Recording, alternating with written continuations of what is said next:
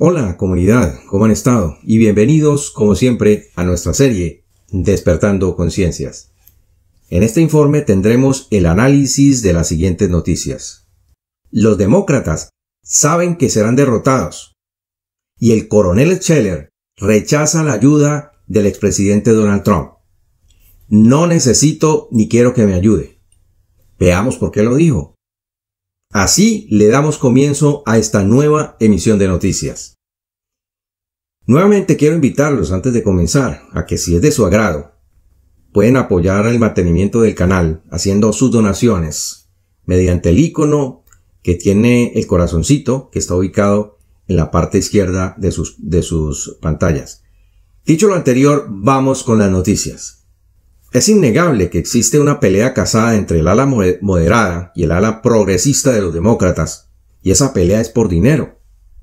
La decisión de Nancy Pelosi de retrasar la votación del proyecto de ley de infraestructuras podría indicar que los demócratas están al tanto de una, de una inminente derrota en la Cámara de Representantes. Y desde aquí sostenemos que también lo serán en las primarias del 2022.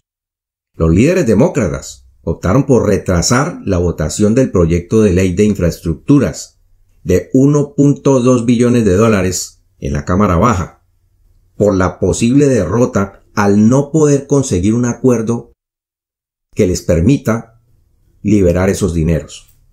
Nancy Pelosi, demócrata por California, decidió cancelar la votación de la legislación bipartidista que ya había sido aprobada en el Senado el pasado 30 de, septiembre, según informó el New York Post. La razón clave detrás de esta decisión, según el diario neoyorquino, es que el liderazgo demócrata no logró reunir suficiente apoyo para la aprobación, después de que el ala extrema izquierdista del partido prometiera bloquear, y escuchen bien esto amigos, bloquear la medida hasta que haya movimiento en el proyecto de ley de gasto social masivo de 3.5 billones de dólares, lo que demuestra que Pelosi está perdiendo su influencia. ¿Qué les parece esto, amigos nuestros? La izquierda progresista está más interesada en el paquete grueso de 3.5 billones y no en el de 1.2 billones que estaría destinado a infraestructura. Y podría generar muchísimo empleo, además. Esto demuestra que los progresistas no están interesados en la generación de empleo directo a través del plan de infraestructura, sino en el gran paquete que no se sabía ciencia cierta en qué será gastado. El jueves temprano, este jueves de la semana pasada, Pelosi seguía confiando en que el proyecto de 1.2 billones de dólares se aprobaría en su agenda, a pesar de los intentos mínimos de los líderes demócratas. Pero horas después de posponer la votación el jueves por la noche, Pelosi envió una carta a sus colegas demócratas para informarles de que continúan las conversaciones con la Cámara de Representantes, el Senado y la Casa Blanca para alcanzar un acuerdo marco bilateral para el Bill Back Better o reconstruir mejor, como así lo han llamado ellos, a través de este proyecto de ley de reconciliación. El proyecto de ley bipartidista de infraestructuras ya tiene sus normas aprobadas a propósito y su debate ya concluyó. Todo este impulso nos acerca a dar forma al proyecto de ley de reconciliación de manera que sea aprobado por la Cámara y el Senado, escribió Nancy Pelosi. Pero según The Hill, un portal de noticias, a los progresistas les preocupa que si ayudan a aprobar la medida bipartidista de infraestructuras antes de que se acuerde el marco de reconciliación para los 3.5 billones de dólares, los centristas no les van a ayudar a aprobar el proyecto de ley de reconciliación, que está lleno de prioridades para el área progresista. Es decir, que los progresistas quieren gastar muchísimo dinero en los llamados programas sociales. ¿Por qué? Porque ellos esperan echarse a la gente al bolsillo, al proletariado para conseguir votos en lugar de poner a producir el país. Ahora, el acuerdo sobre este marco con dos centristas demócratas en contra que son clave, los senadores Joe Manchin, demócrata por Virginia, y Kirsten Sinema, demócrata por Arizona, continuaba con dificultades para su aprobación. debido a la oposición de estos dos senadores. Manchin dijo que él está presionando por una cifra menor, una cifra de gasto menor, máxima de 1.5 billones de dólares para el paquete de beneficios sociales, alegando que ya se han gastado más de 5.4 billones de dólares desde el pasado mes de marzo. Amigos nuestros, toda esta absurda cantidad de dinero es para continuar comprando el apoyo de los estadounidenses. Habrán más cheques para los afroamericanos con este proyecto, con lo cual la balanza se desequilibra. O todos en la cama o todos en el suelo, dice el papelito. Si los progresistas quieren repartir dinero, también debe haber dinero para los blancos, o no amigos nuestros. Lo que ha quedado claro para Biden y para los líderes demócratas es que gastar billones más en programas gubernamentales, nuevos y ampliados, cuando ni siquiera se han podido pagar los programas sociales esenciales, que ya están establecidos como los programas de salud subsidiados, es decir, la seguridad social y el Medicaid. Es la definición de la locura fiscal, dijo Manchi. Sugerir que gastar billones más no tendrá un impacto en la inflación ignora la realidad cotidiana de que las familias de los Estados Unidos siguen pagando un impuesto inflacionario inevitable. Y esto ya se está reflejando, señores. Es probable que la declaración de Manchin impulse también a más sectores progresistas a votar en contra del proyecto de ley de infraestructuras. Amigos nuestros, aquí la pregunta es, ¿en qué están pensando los progresistas cuando no quieren de verdad que se refuerce la seguridad social y el Medicare. Esto sí es francamente increíble. Según el New York Post, los progresistas de la Cámara fueron alentados en su intransigencia por el senador Bernie Sanders, demócrata por Vermont, quien advirtió que los progresistas perderían influencia si el proyecto de ley de infraestructuras se aprobaba primero que el de 3.5 billones. Y este señor es el que lleva la batuta de todo este desorden.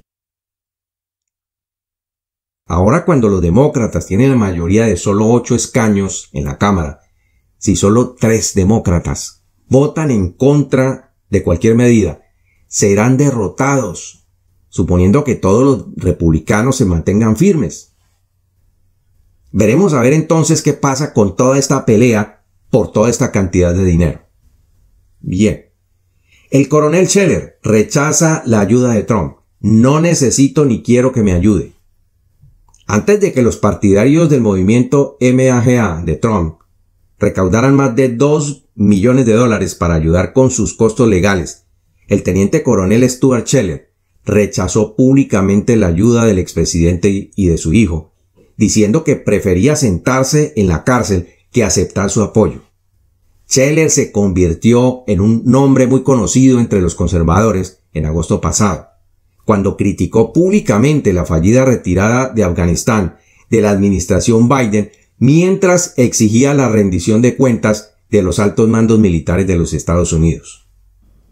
Inmediatamente después de que su publicación se volviera viral, Scheller fue despedido después de 17 años de servicio y la semana pasada, un portavoz de, la Infantería de Marina confirmó que Scheller fue puesto en la cárcel militar mientras espera una audiencia preliminar, como lo informamos en el programa anterior. Menos de una semana después del arresto de Scheller, la Pipe Heater Foundation organizó una recaudación de fondos para el Marín y acumuló más de 2 millones de dólares en fondos. Como señaló Insider, la fundación está dirigida por el ex Navy SEAL Eddie Gallagher, quien fue condenado en 2019 después de posar con el cadáver de un cautivo, de un individuo perteneciente al AIS Corazán, hasta que Trump le otorgó el indulto en noviembre de 2020. Antes de su arresto, Scheller posteó una extensa publicación en Facebook en la que criticaba varias figuras políticas y militares, incluidos el expresidente Trump, el general Michael Flynn. Scheller dijo lo siguiente sobre el expresidente Trump, y abro comillas. Todos me dijeron que besara el anillo por tu poder y por tus seguidores. Me niego. Si bien respeto sus posiciones en política exterior, detesto cómo dividieron al país. No necesito ni quiero tu ayuda. No tienes la capacidad de unirnos. Incluso puede ganar las próximas elecciones, pero el tiempo de tu generación se está acabando. Dile a tu hijo que deje de tuitear sobre mí. Toda tu familia no sabe nada de nosotros y de nuestros sacrificios, refiriéndose a todos los militares. Nunca podría trabajar contigo. Prefiero sentarme en la cárcel y ser liberado deshonrosamente que comprometer mis creencias. Y cierro comillas. Pero este oficial diría algo más en los siguientes párrafos, que contrasta con lo que dijo en el párrafo anterior. Ahora, en la misma publicación de Scheller en Facebook, criticó a los expresidentes Barack Obama, Bill Clinton y George W. Bush. También regañó a los generales Michael Flynn, David Petraeus y James Mattis.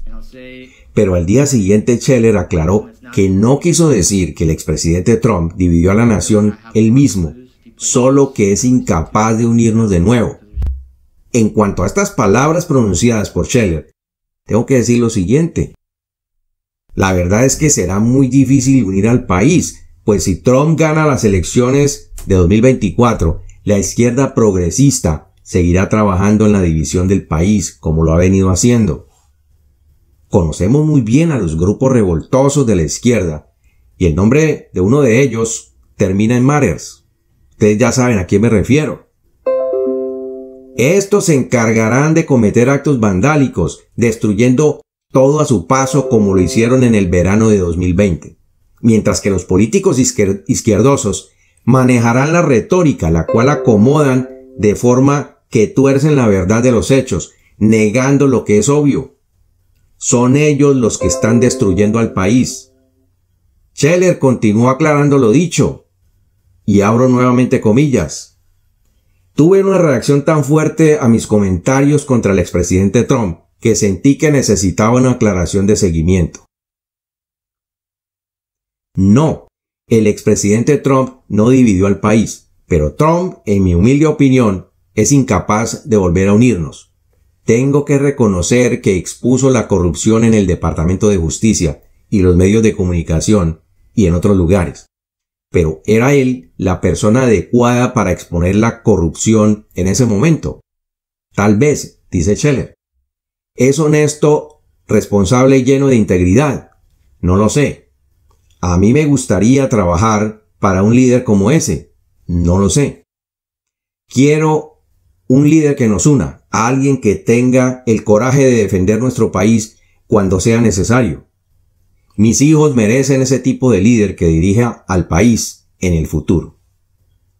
Ese tipo de persona es el único líder que quiero en mi esquina Respeto todas las opiniones. No estoy pidiendo que ustedes estén de acuerdo conmigo, pero que al menos consideren mi perspectiva. Y nuevamente cierro comillas. Ahora, independientemente de las opiniones de Scheller sobre el expresidente Trump, los republicanos y los partidarios de Trump han seguido apoyándolo y pidiendo su liberación. Para mí, este coronel merece ayuda por su valentía al enfrentarse a la alta cúpula militar norteamericana.